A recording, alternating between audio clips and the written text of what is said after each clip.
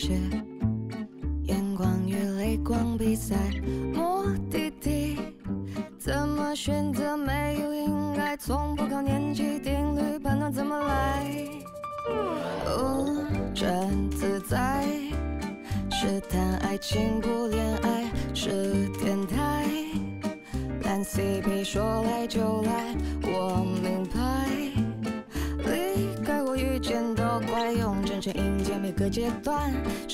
小景在。观众席暗下来，我的追光才亮起来，视线离开，掌声表演才充满安全感。生活要 fantasy，允许既定存在以外，用排练的好心态去面对这比赛，大不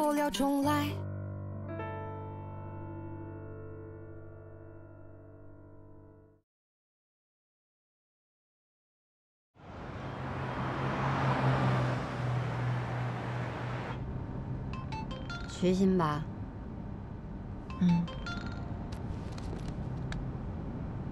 今天回趟家吧，果儿想你了。他不同意离婚啊？嗯，那你呢？我想离。那你可就得跟他好好聊聊了，把你的那些计划都跟他说说。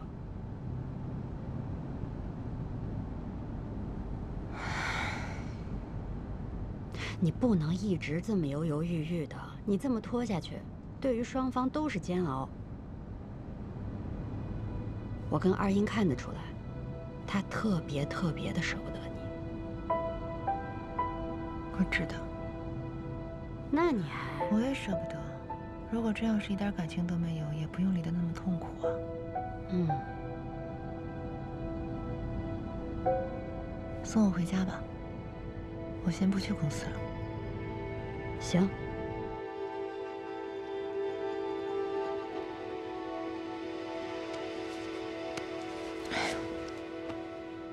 分居吧。虽然你不同意。分哪儿？你你去哪儿？你不能天天睡办公室吧？那你别管。不是，那果儿要找你呢。我给他买了电子手表，以后我单独跟他联系。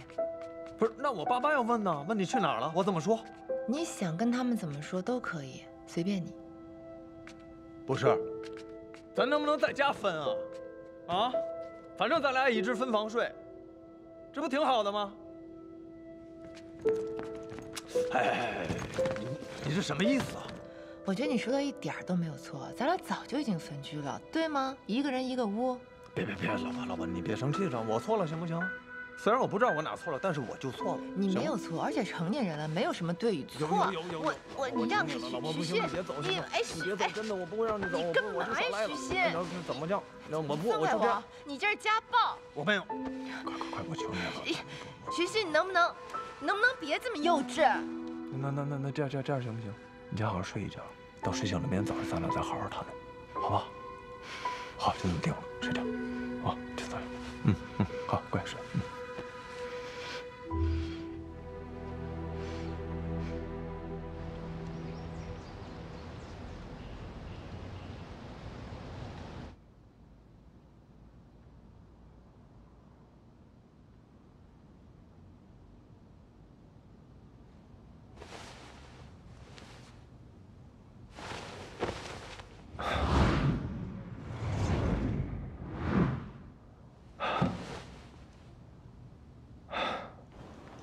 什么时候离的婚？女儿有多大？嗯，行，我知道了。那这样，有什么情况你再告诉我吧。嗯。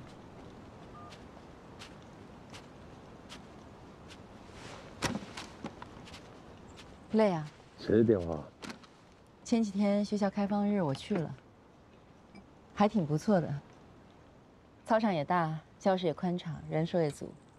那能不好吗？用钱堆出来的，都是让你们这些妈妈们给惯的。要我说，门口的公办小学就挺好，走路过去连五分钟都不要。我们见了校长和几个老师，倒是都挺客气的。就是有一个教务主任，也不知道是不是我多心，一看见我就直眉瞪眼。是个女的，叫朱婷，你听说过吗？不认识。我找人查了一下她的背景，说是农村出身，前几年离了婚，有一个女儿被判给了前夫。我就在想，咱家是不是得罪过他？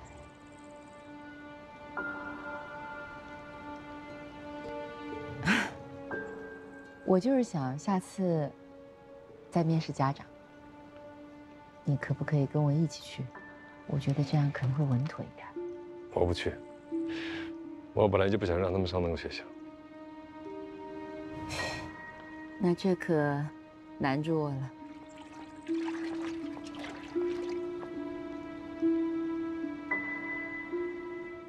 那，你不陪我去，要不然你让小白陪我去，你们父女俩不能都拒绝我。行啊，叫他跟你一块去吧。谢谢老公，关键时候还得有你的支持。你这球打不错，我发现你的球打得挺好的。你还能主动来找我，是想套我什么话吧？我哪有那么八卦？虚伪。怎么着？来一局啊？我要是赢了，有什么奖励吗？你先赢了再说。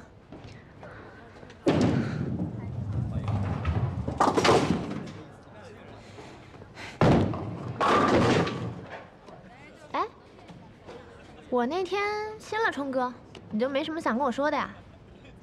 员工的私生活。只要不影响到工作，我从来不干涉。员工，我发现你这人还挺绿茶的。哎，冲哥喜欢你，你不会不知道吧？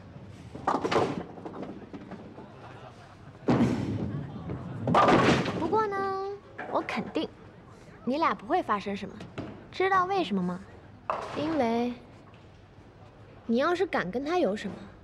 我爸立刻就把你扫地出门，谢天谢地，你就更是见不到了。嗯？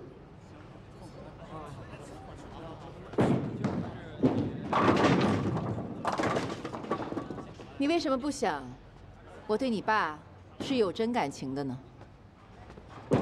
都是谢家人，说什么真感情啊？哎？你平时不是挺傲的吗？今天主动来找我，又打什么算盘呢？你也太看得起我了吧！都说天下最毒的就是后妈，你无非就是想让我去学校夸夸您这后妈，把劣势变为优势，对不对？那你会去吗？你猜呢？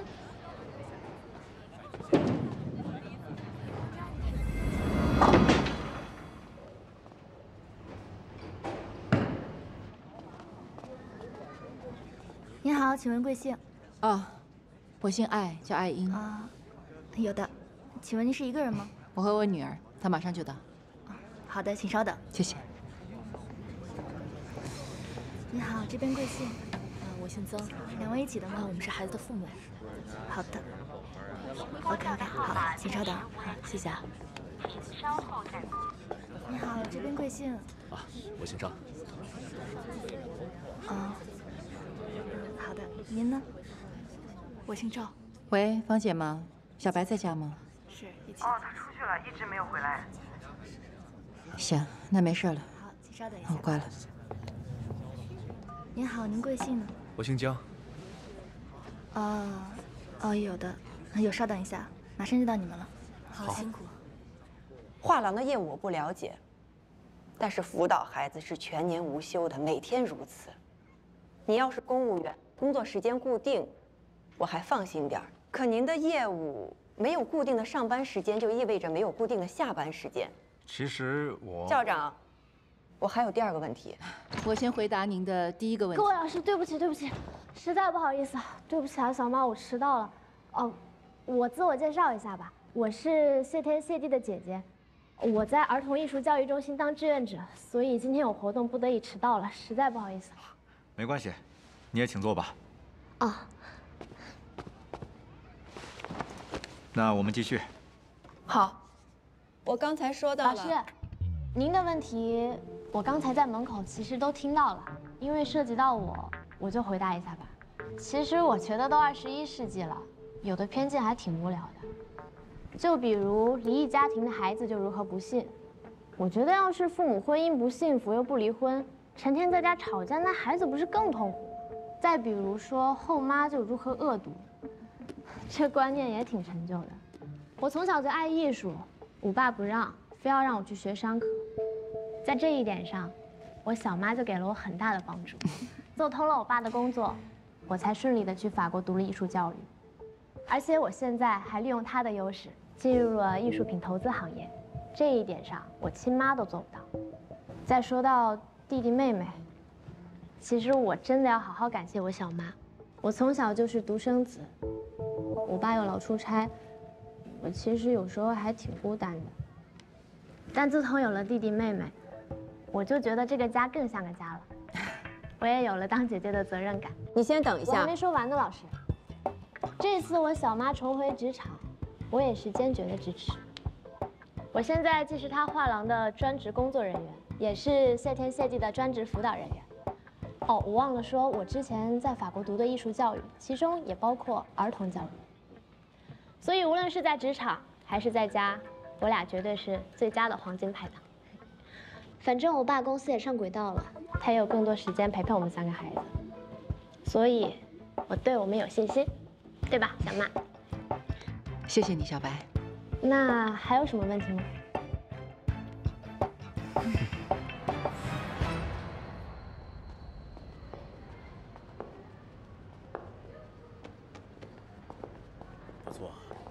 子选了个好学校啊。这下我放心了。谢太太，啊，校长好，恭喜入选啊！真是要谢谢几位老师了。呃，其实不是所有的老师都同意，毕竟您现在的情况也确实是。啊，不过不知道为什么，与您一见之下就很有好感，所以我坚决拍板，像你这么优秀的家长教育出来的孩子肯定错不了。真是太感谢您了，孩子的爸爸在出差，等他回来了，我们一起面谢您。好的，没问题，我们来日方长，多多交流啊！再见。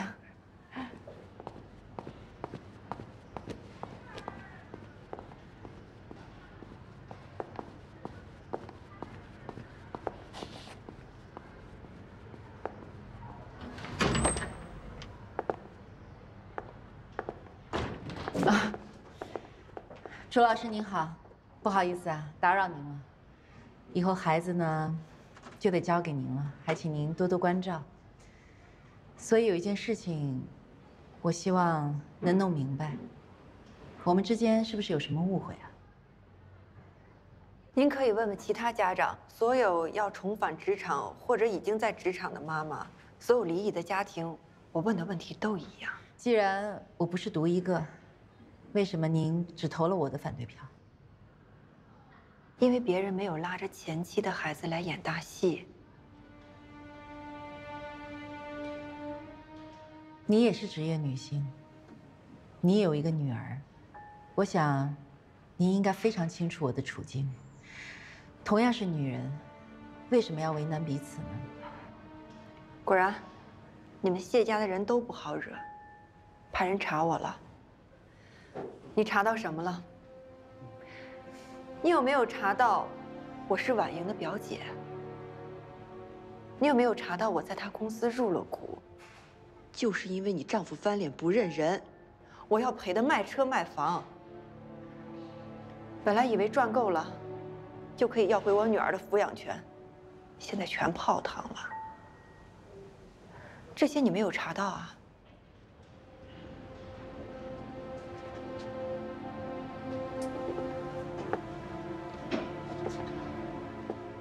对了，你们夫妻同心，本事大。这份工作是我最后的救命稻草。如果连他都没了，我不敢保证能做出什么事来。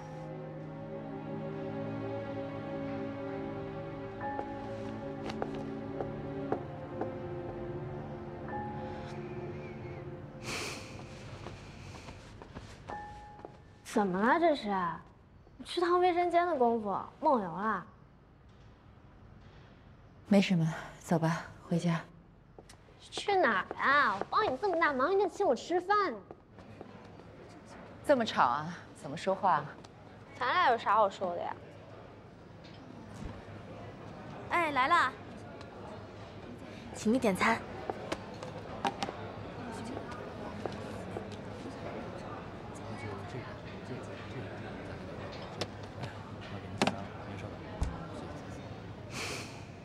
你们谢家的人都不好惹，你查到什么了？我是婉莹的表姐，就是因为你丈夫翻脸不认人，不敢保证能做出什么事来。您的菜齐了，谢谢。嗯，谢谢，请慢用。还端着你那淑女范儿呢，快吃吧。今天还是要谢谢你。别误会啊。帮我做戏而已。我呢，知道你们坏这件事也不是一天了。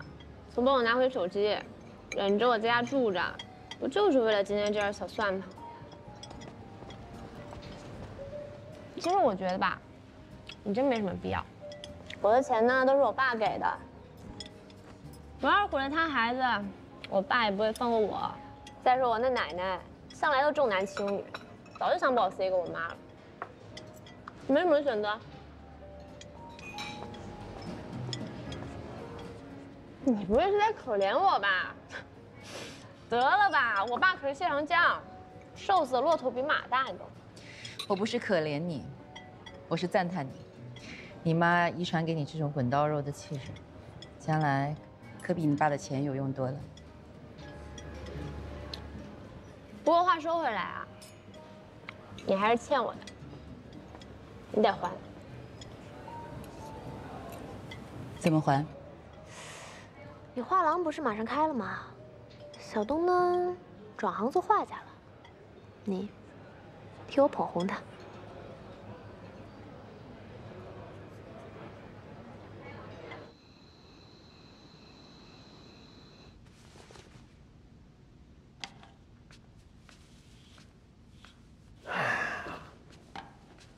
你今天穿那么隆重是去哪儿啊？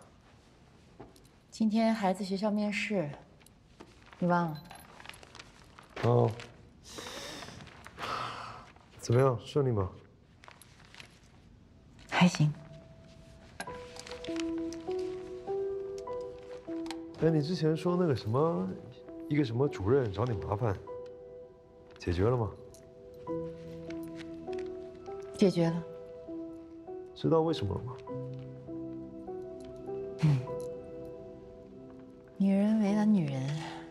是因为男人。怎么了？该不会是暗恋我吧？你早说呀，我跟你一块去，一把把他拿下。哼！是啊，我也想看看那场面。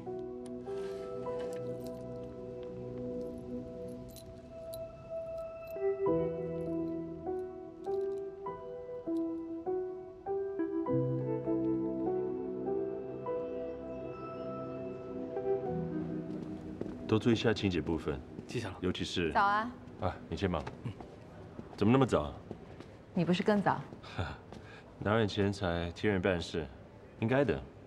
你是老板，应该多休息休息。人人都叫我老板娘，只有你叫我老板。注意啊，别出大家会不会觉得，你看这个画廊是用谢总的钱？你看。我学经济的，我想事情比较简单。家庭主妇的工作，比如保洁、做饭、购买、生育陪伴，这些义务在市场可以购买的。你当主播八年了，按照市场价来算，嗯，交完税后，我想想，按照这个成本核算，你挣的钱可以开一间比这个稍微大一点的画廊了。你可真会安慰人。有些人喜欢宽以待己，严以律人。你只要做你自己就好了。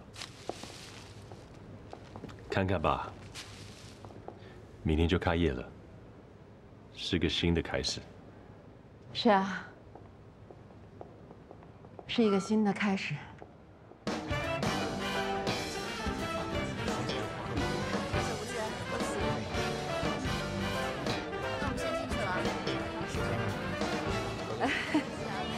你们来，自便啊。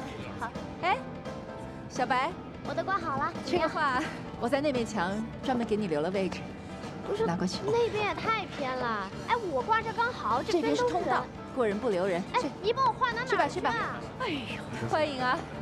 哎妈，怎么了？你可来了！你看看这些都是什么东西啊？没有一样可口的。没关系，一会儿去朵云轩给婆婆点个可口的啊。我要跟你说的是，看看你这些工作人员啊，一个个那脸都拉得那么长。这人多，空气不好，去办公室歇会儿。别管，不用管，我们这边歇。恭喜阿姨。小英，哎，见到英冲了吗？没看见哎，是不是在别地儿忙了？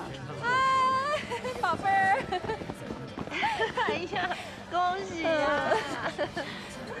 恭喜恭喜，美美哒！孩子交给我们了啊。对，跟着阿姨啊，不要撞坏东西啊。嗨，欢迎欢迎，国泰元泰。方太呢？怎么没见着啊？哎呀，恭喜你啊！你今天简直太美了。你们先看，有什么喜欢的，我待会过来好吗？好。恭喜啊！好，谢谢。你在这干嘛呢？我专门找人留一个逃生通道，这个门出去就连着大门，刚好人比较多，就来检查一下。真是多亏了你，画廊才能顺利开业，真是让我少操了好多心啊。画廊开业了，过几个月应该就要离村了。小友很聪明，我带着他很快就升任了。你记得我在加拿大那兄弟找我当猎人？嗯。他刚好有一个农场，想要盘出去，问我有没有兴趣。你是 想走吗？你没那么快，只是。艾姐，你找到冲哥了？嗯。那边已经准备好了，可以开始了。好，那我先过去。嗯。走吧。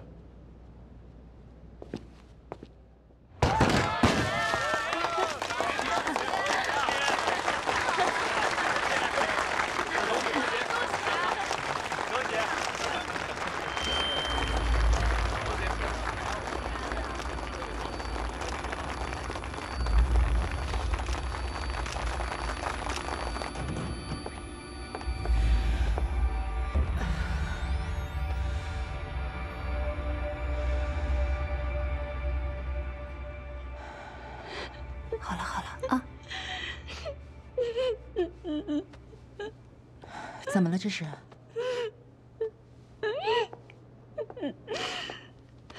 发生什么事了？本来今天是你的好日子，我是不想说的。可是方太太昨天吃安眠药自杀了，抢救无效。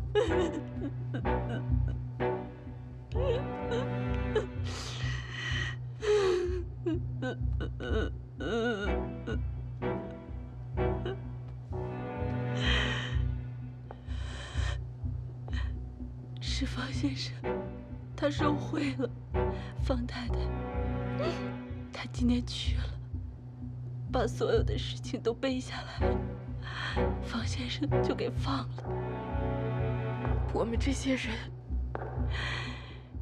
这有用的呢，什么时候都得顶上；没用的，说不定有一天就给踢了。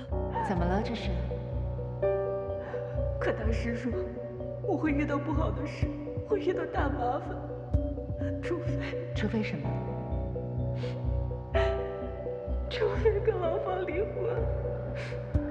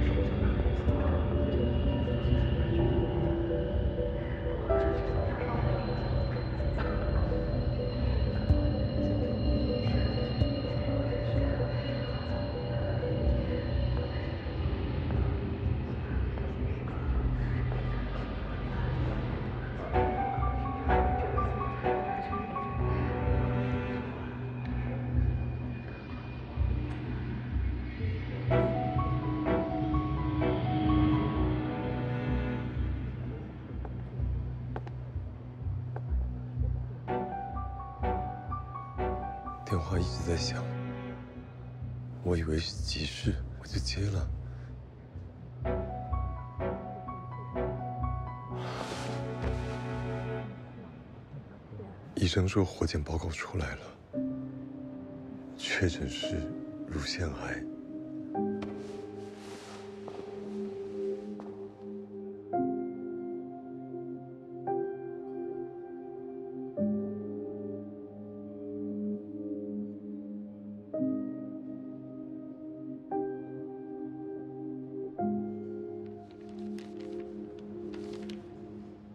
据目前的检查报告，基本上就是这个结论了。我们是老朋友了，我也实话实说，乳腺癌的死亡率和复发率不低，治疗手段有限，所以要做好心理准备。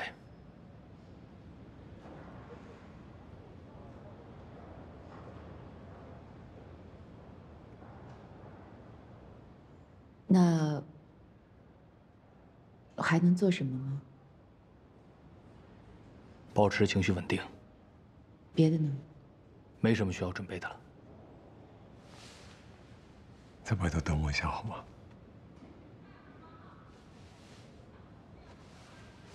谢谢。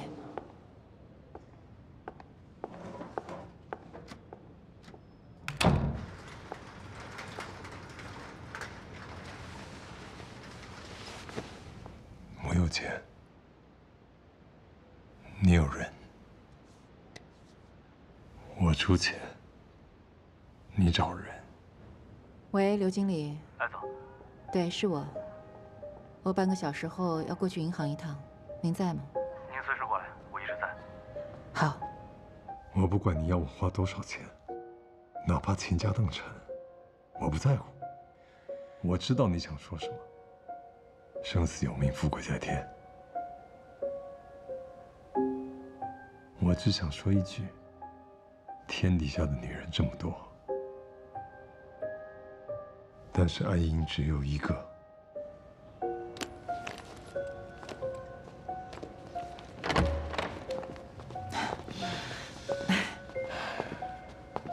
怎么了？在谈什么呢？谈你啊！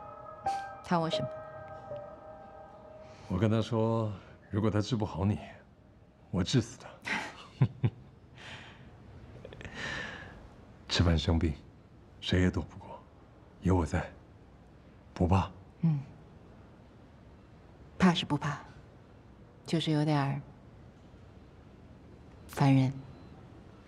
身体这个情况，咱俩知道就行了。嗯。嗯。走吧。撤诉。嗯，有这个想法，所以问问你的意见。这官司赢了，我的麻烦更大了。小姑子三天两头骂我说我抢孩子，讹他们抚养费。你先别着急啊。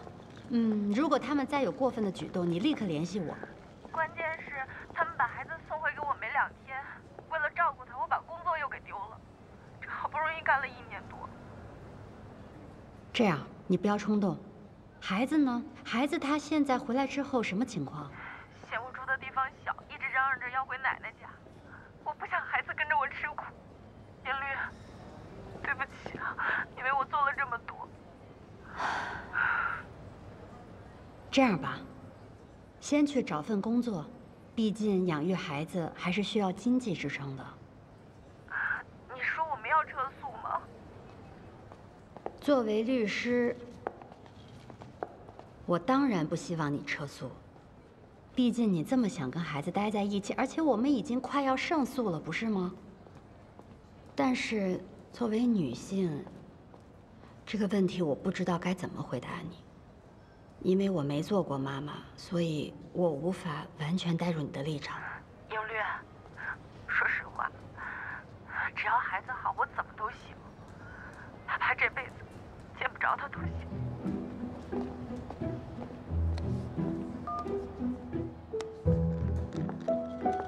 别轻易投入一段关系，结婚生子都要慎重。一旦跟另外一个人产生了羁绊，你的人生轨道就可能完全不一样了。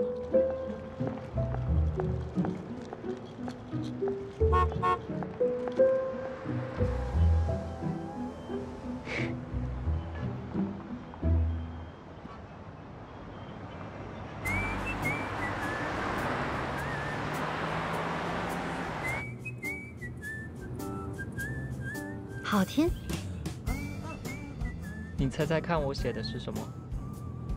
猜不到哎。你试试嘛。人间。我写的是院子里慵懒的猫，晒着太阳想的那些事。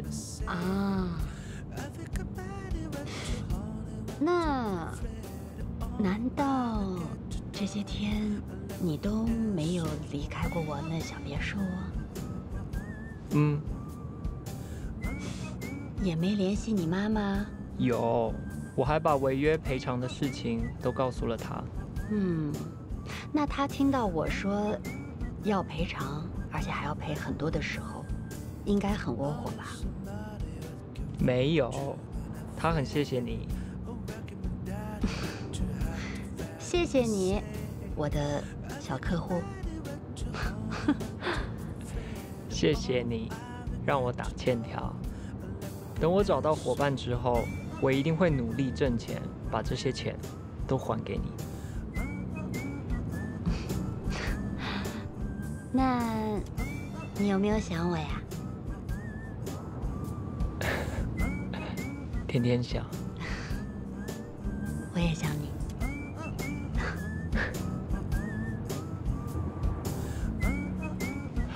哦，对了。我把工作室的一些乐器都搬到你家了，比如钢琴啊，还有架子鼓什么的。我怎么有种预感，觉得你已经把家里折腾得乱七八糟了？我没有。你有吧？我跟你说，我真的没有。你真的有？你肯定有。我真的没有。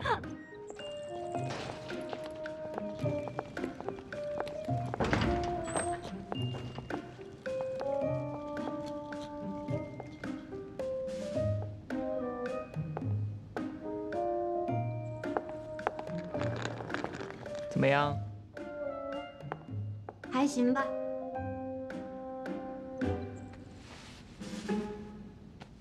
饿不，还好，就是有点累。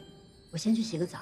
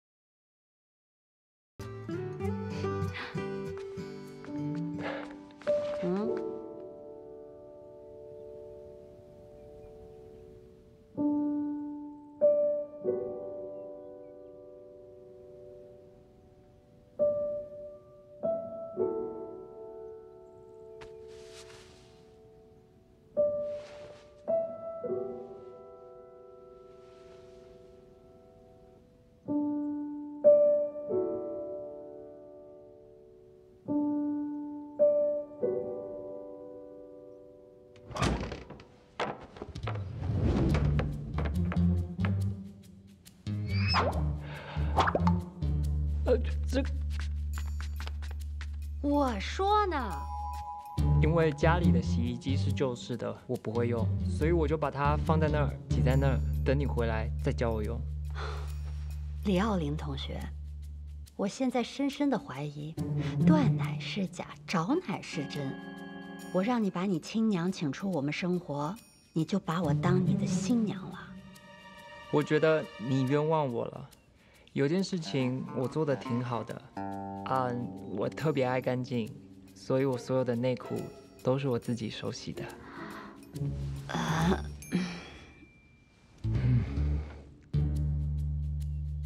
嗯，还有一件事情，我可能需要你的原谅。啊？啊？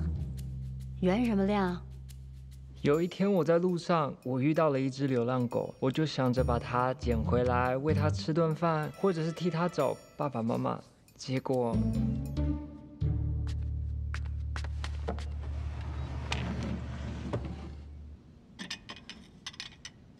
啊结果，这是明代的，家庭地位比我还高。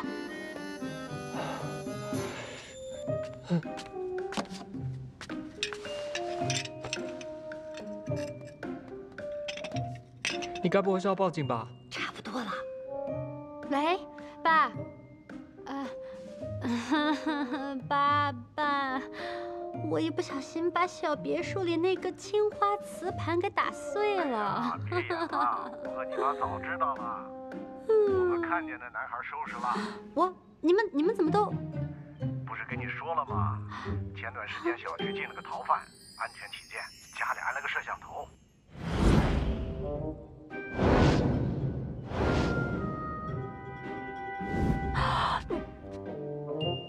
什么时候跟我说了？哎呀，呃，那那那你们你们都看见了？什么了？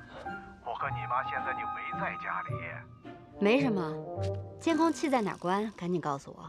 小美，我们也不是二十四小时看，就是偶尔看看。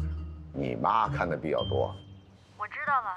那你们都看见他不是故意打碎的，就别让他赔了。这个太贵了，他赔不起。小美啊，你妈心眼多多呀，怎么可能把真的都摆出来呢？那些都是仿制品，在古玩城里五十块钱一个。好，好，好。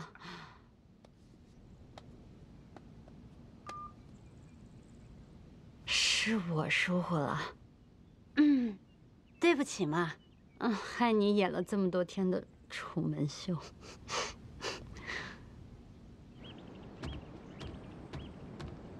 哎呀，幸好发现及时，还好还好。监控呢？已经关了，今天的所有内容全部删了。嗯，不生我气啦？怎么会不生气？只不过你今天第一时间出面替我顶罪，我很感动。那咱们俩这算是扯平了。嗯，可能还需要一点点。嗯，我唱。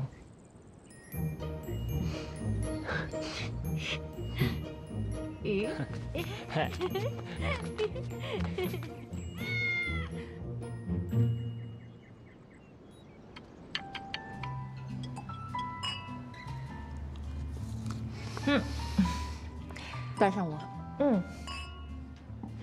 上大学的时候吧，从来没有想过高阳是那样的人。嗯，就是感觉他跟其他同学不太一样。那次校友会我见到他，我挺意外的。嗯，这个人好像没有什么变化，还是一股少年气呀。这个年龄段呀，像他这样的男生不油腻的啊，不多了。最近为什么总说年龄段啊？因为总是有人拿年龄段跟我说事儿。嗯。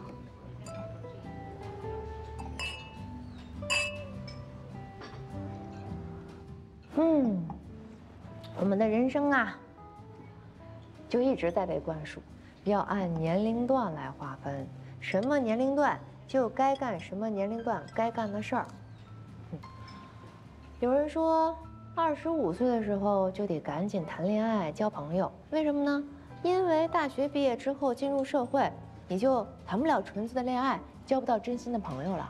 还有人说三十岁了，千万别改行，要不然干什么都晚了。也有人说三十五岁赶紧成家、结婚、生子，啊，最好是完成二胎计划。但是，招聘上喜事上明明又写着三十五岁以上的不要。我跟你们讲，年龄段就是女人一生的魔咒。哎呀，好了，别在意什么年龄段了。其实连我们自己都不知道，我们人生的终点到底哪天会来。